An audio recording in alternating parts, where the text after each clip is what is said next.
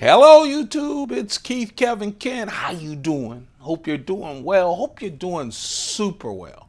Hope you survived Monday without too many bruises. that's my low that's my that that's that's my standard. That's my low standard for Monday. Just get out without too many bruises and move on to Tuesday. It is Tuesday, November 1st, 2016, first day of November. Ah, we're getting close. I, I smell winter in the air already, even though it's kind of uh, decent weather here on the east coast of the United States. Hope you're doing well, though. Let's start off November with a bang.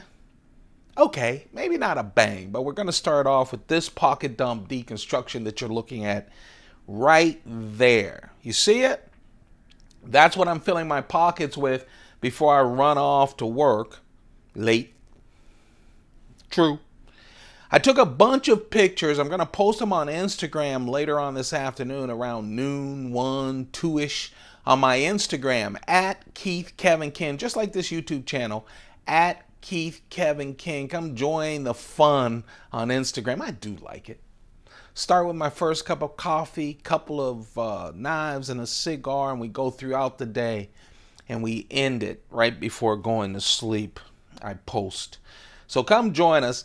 If you're not on Instagram and you love knives, or you love cigars, or you love knives, get on Instagram. Download it. Okay? Put it on whatever phone you have because there's all, all the knife makers, all the knife fans, all the people you watch on YouTube. Everybody's on there. There's a lot of knives offered of all different kind of prices. From beginner all the way up to the ones that make you go, wow. So check out Instagram, even if you don't follow my feed, but yeah, follow my feed too. I'm gonna post it, turn my iPhone 6s Plus after taking those pictures just a few moments ago to video. Now it's time for our pocket dump deconstruction. You know why? Because we do that every single day. Over, I don't know, I haven't checked my channel recently. Close to 170, I know that.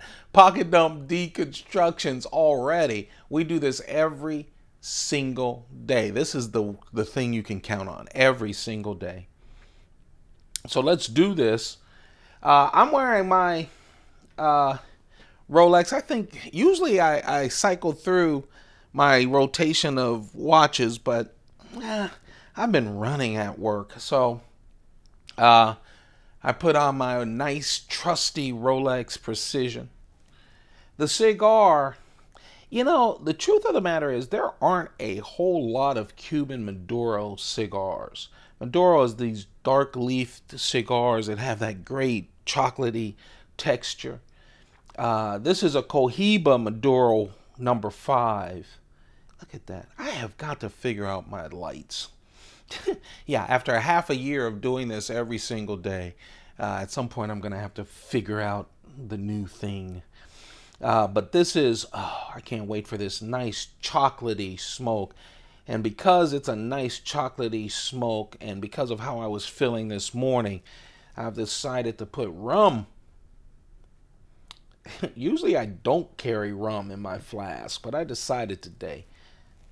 Just in case I don't make it home right after work, stop off somewhere, I have my dark rum, by the way.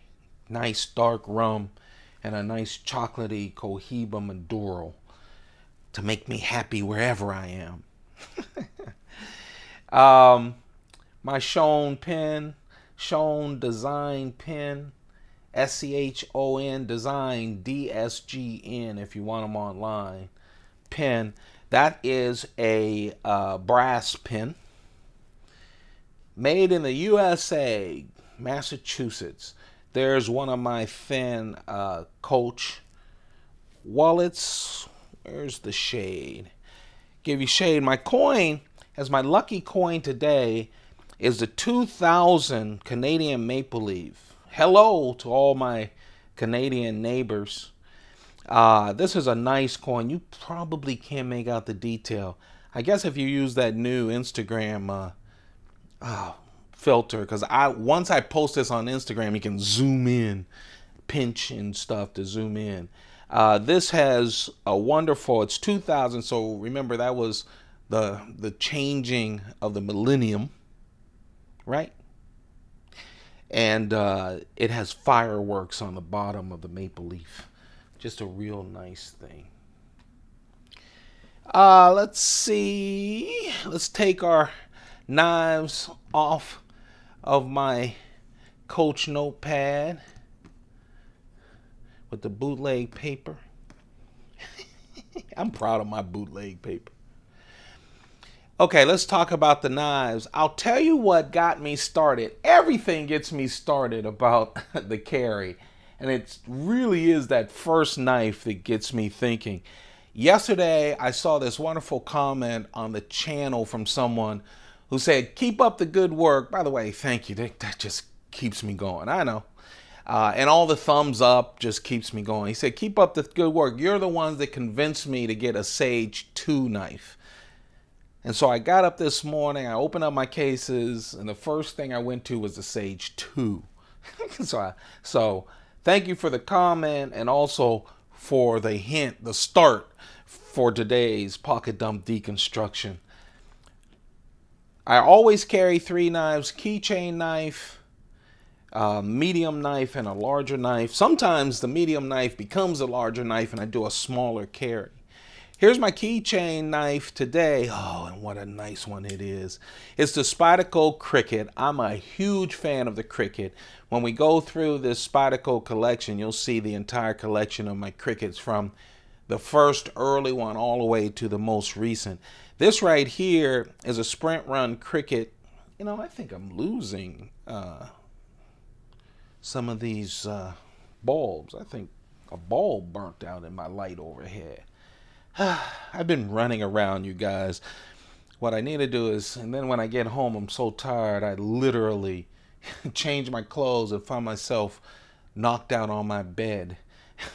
so I'm going to have to do something about everything. Just chill, clean up the place. Uh, so I apologize if the lighting seems a little bit more off than usual. But this is the Cricket. We'll go through all of the Crickets. Uh, this is a sprint run. Sprint run for Spyderco usually is a thousand or less knives. They're limited edition. Once they're gone, they're gone. The only other way you can get them is on the secondary market. Some people, whenever I say that, they go, well, this was 1,200. And I, I know, you know, it depends on what Sal and Eric want to do, how many they want to do. But usually it's around a thousand, and that comes from Spyderco itself. Um, but sometimes there's more, sometimes there's less because they have problems. Since these are new manufacturing uh, issues, they're not their regular run of an Endura or Delica or Native. Um, sometimes they have some problems. And so they shrink that limit, which is good for a collector. This is the Spyderco Cricket with that reverse S blade, which is wonderful. I love that extra belly though. So you can actually use this for EDC. That belly is great. It also doesn't come to a super thin tip. Uh, a number like the civilian and a couple of others of the uh, hawk the hog blades um, the real tactical blades spyderco actually put a warning in the box saying not for EDC use because of that tip. It's usually for self-defense use. we'll go through my, I have a big collection of the hog blades as well. I have a huge collection of them. I, I love them. I really do. But this is the reverse S. Really nice. 1.9 inches VG10 steel. You can tell it's one of the newer Crickets because of that Chris Reeve integral frame lock on the back, which is just really nice. Nice lockup, just a thin package, but just so well done. Yeah, by the way, I bought two more Spydercos, new Spydercos coming. I'm hoping to have them by Thursday to show you guys. I'm excited about them. Um, guess what they are down in the comments section. Um, This is just so nice. What a wonderful package. This, of course, has the Nishijin handle. Nishijin is glass fiber, smaller than the human hair, really weave together into a pattern. This pattern you see right here, you'll see either this is the black Nishijin. I have a number of knives with blue Nishijin. Usually when you see a Nishijin knife from Spyderco, first it's probably a sprint run, a limited edition. Um, what it is is really glass fibers, thinner, thinner than the human hair, put together into this pattern. The pattern is Nishijin. It's a specific kimono pattern in Japan. So that pattern right there is Nishijin. What a nice piece. Feels nice in the hand. Really useful. I love how they put that choil in there on this small knife. Great lockup. Everything is nice on that knife. And there we go. Yeah, man. I will say it's a close uh, it's a close uh, flip between this, the Sage 2, and the newest Sage 5 from Spyderco. Sage is the series where Spyderco honors the sages in the industry that came up with great locking knives. Uh, this one, for instance, uh, represents the Chris Reeve integral frame lock. That's why it's all titanium, just like a lot of the Chris Reeve Sebenzas. So it's all titanium. Every single knife has the same profile, that three inch leaf blade from Spyderco, S30V steel. So all of them.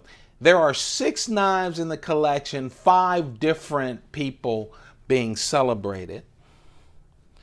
Yeah, the Sage 3 actually has two different knives. Two, same knife, different handles.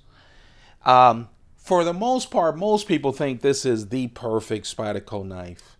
Um, it, it is on most people's top 10 knives. It's probably on my top 10 Spyderco knife as well. It's just perfect. Until they released the Sage 5 this year, um, and the Sage 5, they're celebrating themselves, Spyderco and the compression lock. So you have this form um, factor with um, carbon fiber on top of G10, and it feels good in the hand. Um, S35V steel, but that compression lock. It's like a mini. To me, it feels like it's it's like a, a mini paramilitary, and you know paramilitaries are on everyone's top of their list for Spydercos. So here you have the titanium, all titanium frame lock, which is excellent.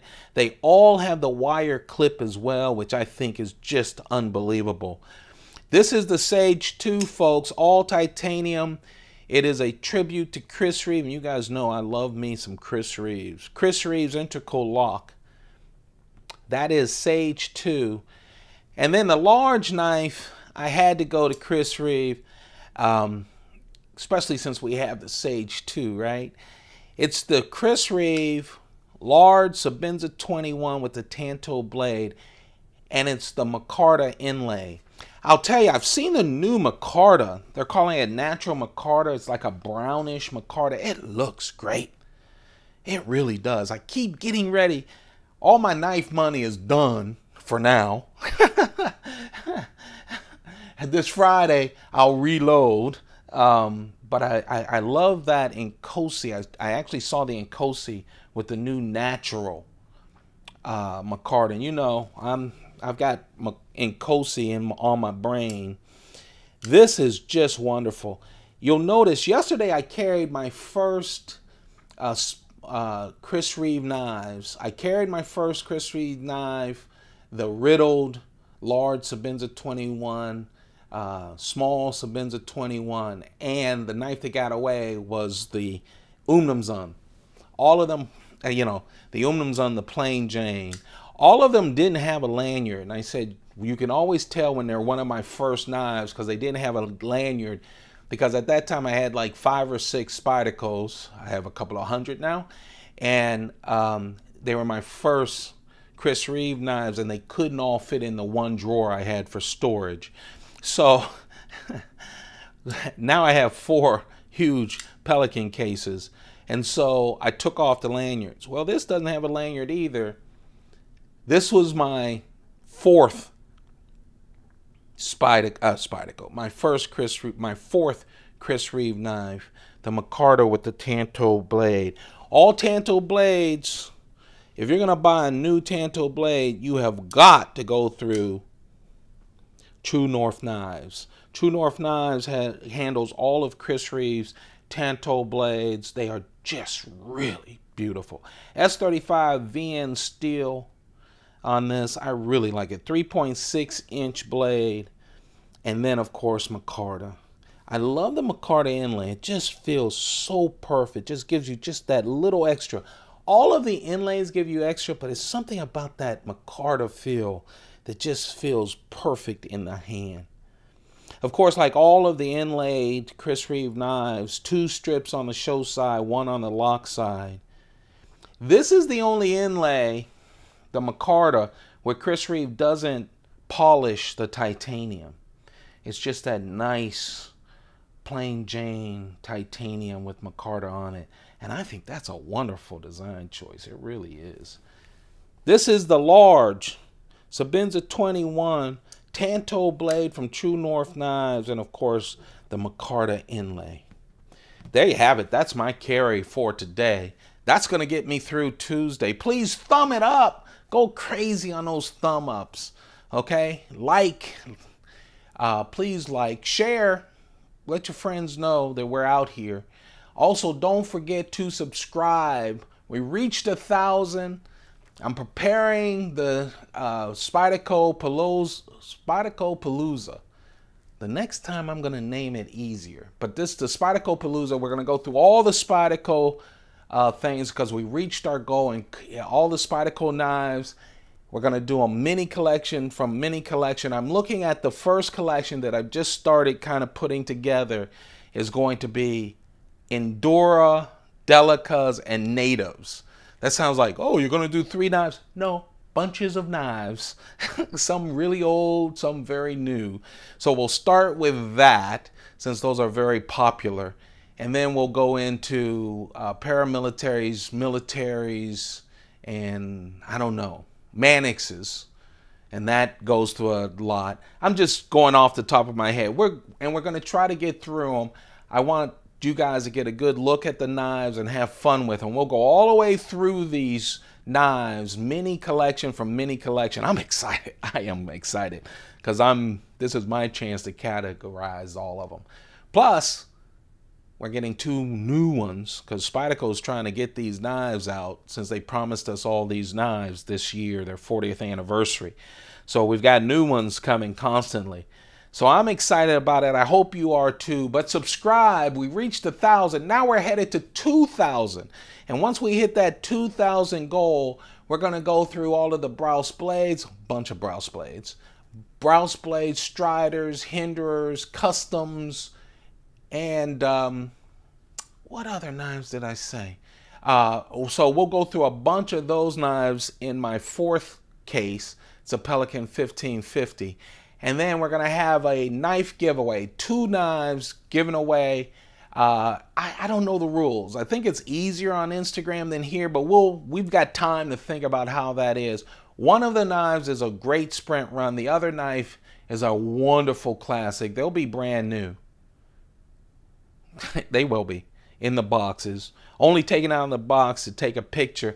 And even that, I'm not sure. I think they were taken out of the box to be examined by me. I don't even think they've been photographed because they were doubles. Okay, so hit that subscribe button. Now I've done all that business, but I didn't forget the knife that got away. This right here, my friends, is the Spyderco Southard. Man, the very first flipper from Spyderco. Actually, this was the very first flipper from Spyderco. This is the original Brad Southard flipper from Spyderco, the brown one.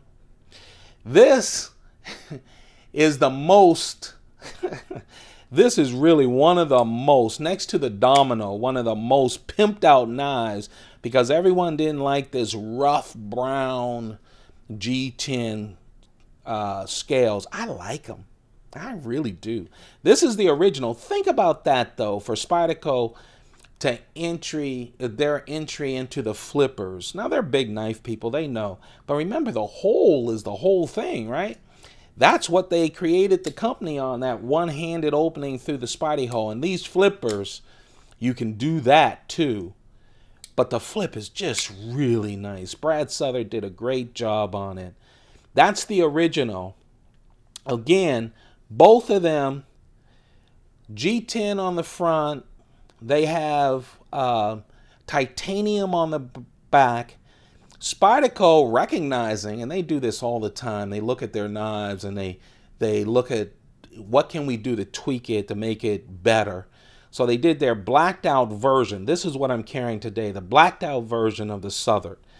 Everything is the same Steel with 3.5 inch blade, CTS 204P steel, CTS 204P steel. G10, but man, this is a smoother G10. Of course, the blacked out version is all black. It's just smoother. Coating on the blade on this one. And I'll tell you, the flipper is unbelievable. Whoops, God, I keep, I'm going to screw up my knives doing that. The flipper is just really wonderful on the original. It's even smoother on the blacked out version. If you haven't gotten a Southard, you know, titanium liners, it's just a wonderful. If you haven't gotten a Southard, get the blacked out version. By the way, the Southard, obviously in my top 10, but since the Southard, man, Spyderco's been going crazy, crazy with flippers. Uh, just in this year alone, they promised us about five or six flippers. So uh, I can't wait to show you my flipper collection of Spydercos. But man, there's more to come. Look how smooth this thing is. That's the knife that got away. This right here, the Southard, I just wanted you to see the original as well. But oh, the Southard. We've gone so far with all these flippers along with Spyderco but the original Southard is just great. Just great. You can still find a new one uh, or even on a secondary market that is in great condition. I love that blacked out version though. That's it, you guys. You have a wonderful, wonderful day. Hey, I'll see you tomorrow. We're going to do this again tomorrow. Pocket Dumb Deconstruction. Don't forget, thumb it up, like, share, subscribe. You guys have a perfect, perfect day. Man, I, I actually mean that. I want you to have just a wonderful day. Keep those pockets full. Goodbye.